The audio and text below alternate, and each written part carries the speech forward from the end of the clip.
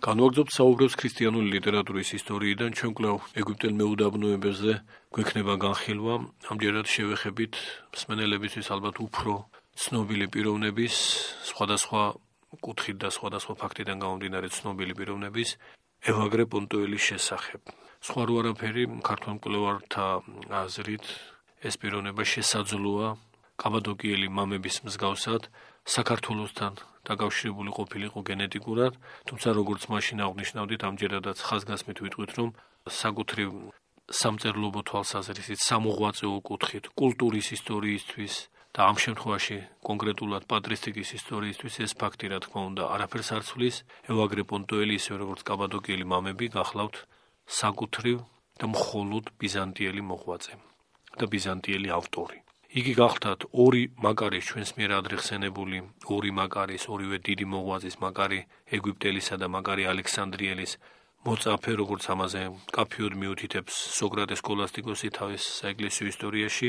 მას ეწოდა ზედმეტსახელად ასე ვთქვათ პონტოელი რადგანაც იყო პონტოდან კერძოდ იბორადან ეს იბორა ზოგჯერ იბერიადაც გაიგება ზოგი მკვლევრისგან და ამ ნიშნით უკავშირებენ მას საქართველოს თუმცა ზოგადად მიღებულია რომ იგი იყო არა იბერიიდან არამედ იბორადან. ციგნის კითხველად იკურთხა იგი ბასილი დიდისგან დიაკვნად წმინდა გრიგოლ ნაზიანზელისგან ასე იგი მუდიდეს მოღვაწეებთან ქონდა მთელი თავის ცხოვრების მანძილზე კავშირი და ამ უკანასკნელს გრიგოლ ნაზიანზას იგი თან ახლდა მეორე მსოფლიო კრებაზე 391 წელს, ხოლო შემდეგ, როდესაც კონსტანტინოპოლის პატრიარქად გრიგოლ ღვთისმეტყველის ძალიან მცირე დროის პატრიარქობის შემდეგ იკურთხა სახელგანთქმული ნექტარი კონსტანტინოპოლელი, ევაგრე პონტოელი რჩება ნექტართან, როგორც ამის შესახებ ხაზგასმითაა თქმული პალადი ჰელენოპოლელის მიერ თავის ლავსაინგოში ჩვენ ამ ძეგლს ვახსენებდით რამდენჯერმე 38 თავში და დატოვებული იქნა ნექტარის მიერვე, რადგანაც ეს უკვე პალადის სიტყვებია. ევაგრე პონტოელი იყო დახელოვნებული არგუმენტირებაში. ყველა ერესის წინააღმდეგ. ამ ქალაქში კონსტანტინოპოლში. ევაგრე მარე პოვა წარმატება სახელგანთქმულობა. პალადის სიტყვებით ქადაგებდა რა იგი ახალგაზრდული შემართებით და განაკიქებდა და უტევდა რა ერთობლივად ყველა იქ გამოჩინებულ ერეს.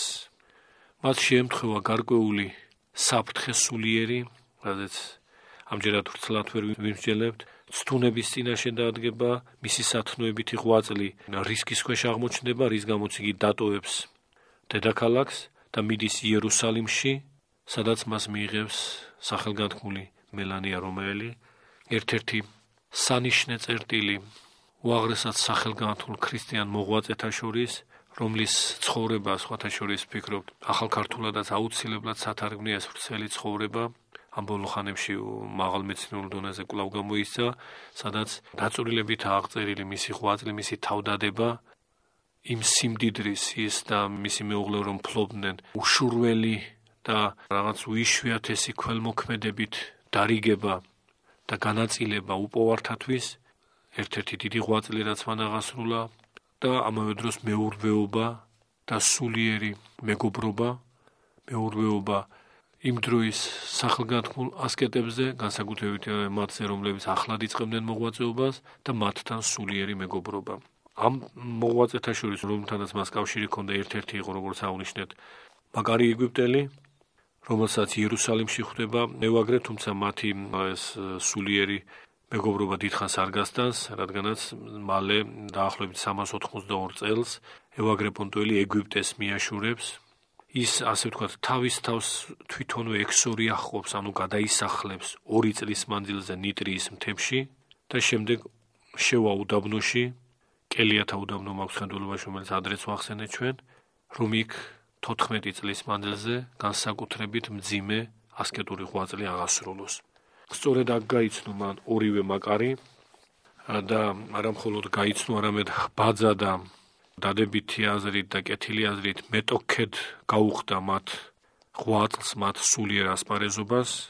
ისიც საკვირველებად აღსრულებლად გამოჩნდა იმ დიდი მარხველობითი მოღვაწეობის შემდეგ რაც ამ პერიოდში ევაგრე პონტოელის ასკეტური ცხოვრებისგან განუყრელი იყო და განუყოფელი. ამიტომ ჩვენს მერზე მოხსენებული ისტორიკოსი სოკრატე, სოკრატეს სკოლასტიკოსი ხაზს უსვამს, რომ აი ამ მადლმოსილებითი ნიშნის სასწაულთქმედებებით და სასწაულთა მრავალრიცხოვნებით იგი არათუ არ ჩამოუვარდებოდა თავის აღზრდებსა და შემგონებლებს და წინამძღვრებს ორმაკარის გულისხმობთ, არამედ ზოგჯერ შეიძლება ითქვას აღემატებოდა კიდეც მათ. ის ცხოვრების სარჩოს გადაწერით იპოებდა, მოიპოებდა ეს ერთ-ერთი ცნობილი ხელობა იყო ეკლესიის მამათა შორის, მეუდაბნოეთა შორის, მღვდელთავართა შორისაც კი ცნობილია მაგალითად რომ დიდი მოღვაწე მე-11 საუკუნის მეორე ნახევრის ანტიოქიის პატრიარქი იოანე ოქსიტელი თავისი ხელით გადასწერდა ხოლმე წიგნებს. ის მიხედვით მას ჰქონდა საუცხო კალიგრაფია და ეს პალადი ნამდვილად იცოდა, რადგანაც მისი უშუალო მოწაფე გახლდათ და მისი გადაწერილი ძეგლები თავის თვალით უხილავს. ამავე დროს მას ჰქონდა განსაკუთრებული თავდაბლობა და როდესაც ჩვენს პერწინა საუბარში ხსენებულმა თეოფილი ალექსანდრიელმა გადაწყვიტა მისი ეპისკოპოსად კურთხევა, მან ეს უარყო და განერიდა ამ პატივს. მსგავსად გრიგოლ ხანძთელისა. აღესრულა 54 წლის 399 წელს. რა თქმა უნდა, ევაგრე პონტოელი გაცილებით უფრო ნაყოფიერია სამწერლობო თვალსაზრისით, თუმცა მხოლოდ ეს მხარე არ გამოიკვეთება მასთან დაკავშირებით.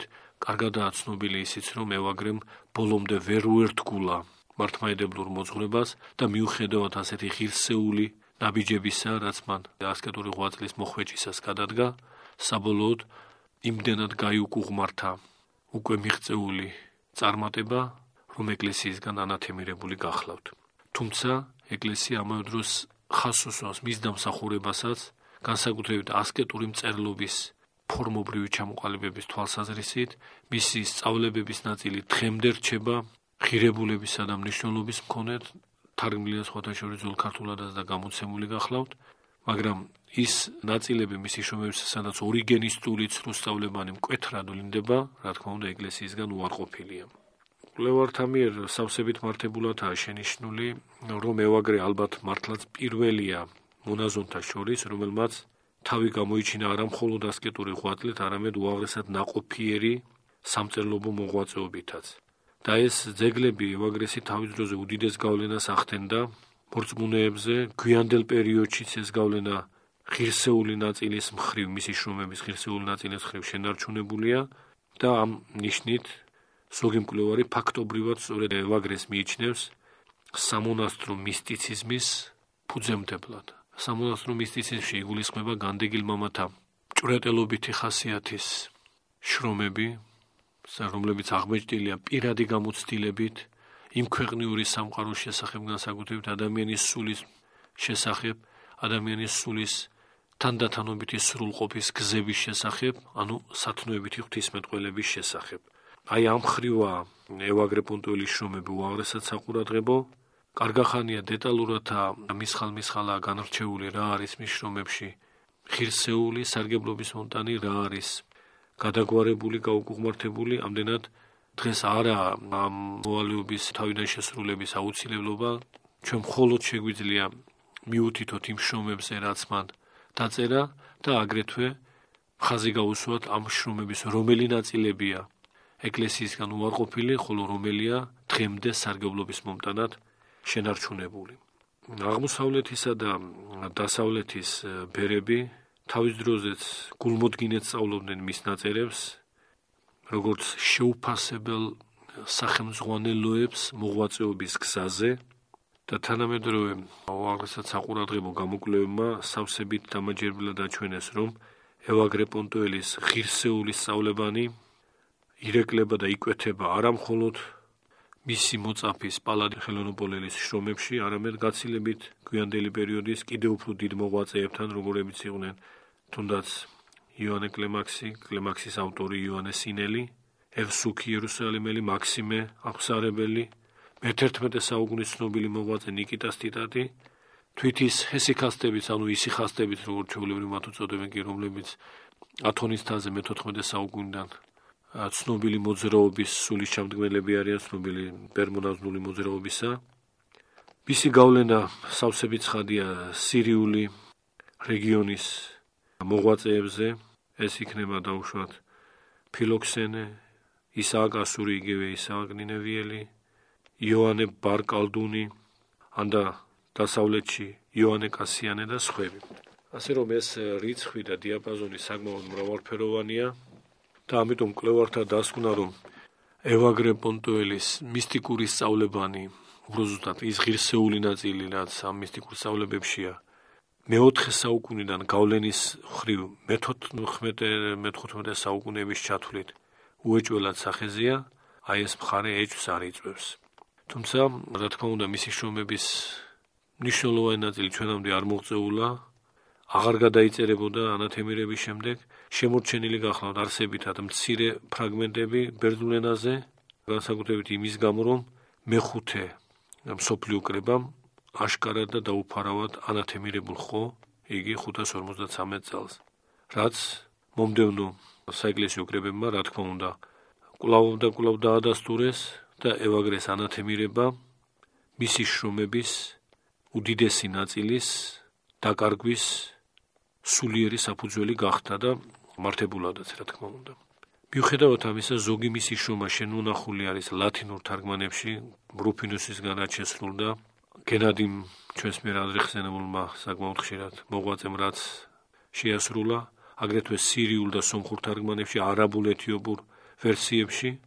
ქართულად როგორც უკვე გითხარით რამდენიმე მცირე ფორმის შრომა მოღწეული განსაკუთრებით რვა გულის ზრახვის შესახებ გამოქვეყნებულის გახლავთ ის შრომები რაც დაიგმო მსოფლიო კრებათა მიერ ცხადია გარეთ ქართულად სხვა ენებზეც გარდა სირიულის რამდენადაც ვიცით არ თარგმნილა. და საგულისხმოა ისიც რომ მისი ზოგი შრომა სხვა დიდ მოღვაწეთა ავტორობით შემორჩა ჩვენამდე კერძოდ ბასილდირისა და ნილოს ანკვირელის თავის მხრივ ეს ბასილდირი ცხადია ნილოს ანკვირელის ასევე სახელგანთქმული ასკეტი მოღვაწე აი ამ ორი პიროვნების ავტორობით შემორჩა მისი შრომები. ზოგი მკვლევარი იმედსაც გამოთქვამს რომ პატრისტიკული კვლევის გაფართოება ალბათ სხვა მკვლევართა ავტორობაშიც დაფარულ მის აქამდე უცნობ შრომებს ანდა კატენებში დაცულ ცალკეულ მის შეგონება განმარტებებს კვლავ გამოავლენს. და ამ ყოველივეს შემდეგ გახდება სრულად შესაძლებელი კვლევითი ასპექტით მთელი მოცულობით გათვალისწინება იმ ხარვეზებისა და იმ სტომილებებისა რაც მას ორიგენისტული გაუგუღმართებების შეთვისებამ შეზინა. რა თქმა უნდა, ორიგენეს ღვთისმეტყველება განსაზღვრელი ევაგრესთვის ორივე მხრივ, ესე იგი დადებითი ნაწილითაც, თავის დადებითი ნაწილითაც და რა თქმა უნდა, უღირსი ნაწილითაც და ამანვე განაპირობა მისი გადადრეკა იმ ჭეშმარიტების გზიდან, რომელზე დადგომასაც თითქმის ბავშვობიდან ჭაბუკობის ასაკიდან ასე დაუცხრომლად ესრაფოდა ევაგრე პონტოელი. დაუძენთ იმასაც, რომ ევაგრე პირველია ეკლესიის საეკლესიო ავტორთა შორის, რომელმაც თავისი შეგონებანი და სწავლებანი აფორიზმების, ანუ აფორისტული დებულებების, გნომების, შეგონებების სახით ჩამონაკვდა, შექმნა სტილი განდგილური წერლობისა, სადაც მთელი სისრულითაა გამოყენებული ის შესაძლებლობები, რაც უფრო ადრე ანტიკურობაში არსებულ გნომურ ანუ შეგონებით ფილოსოფიურ მწერლობას ჰქონდა და ამ ფორმამ ეგრეთ წოდებული ცენტურიონების ანუ ასეულებისა უდიდესი გავრცობა ჰპოვა საეკლესიო მწერლობაში თელი ბიზანტიური ეპოქის მანძილზე. აურაცხელია ევაგრესანვე მიძღვნილი შრომა გამოკვლევები მისი თხზულებების ფრაგმენტთა ან და თარგმანთა დეტალური განხილვები მკვლევართა მიერ უკვე შესრულებულია ეს მხარე ვფიქრობთ თუნდაც ნაწილობრივ ჩვენ უნდა განვიხილოთ მიუხედავად ადათებირებისა ისევე როგორც ორიგენესთან დაკავშირებით სხვა პირებთან დაკავშირებით სხვა ავტორებთან დაკავშირებით ანათემირებულ პირებთან დაკავშირებით მათი შრომების რამდენადმე დამაკმაყოფილებელი ანალიზის მოწოდება ვფიქრობთ სპენელებისთვის სასურველია რომ გარკვეულნი ვიყოთ ამ შრომებიდან ჩვენამდე მოღწეულებიდან თუნდაც მოუღწეულებიდან რა დაიკარგა, რატომ დაიკარგა და რაც მოღწეულია იქ განსაკუთრებით ძვირფასი და ღირსეული რა არის. ჩვენ ახლა ამჯერად რა თქმა უნდა მას უკვე ვეღარ მოასწრებთ, ამიტომ შემდგომ შეხვედრაზე ევაგრე პონდოელის შრომებს განვიხილავთ. გმადლობთ ყურადღებისათვის.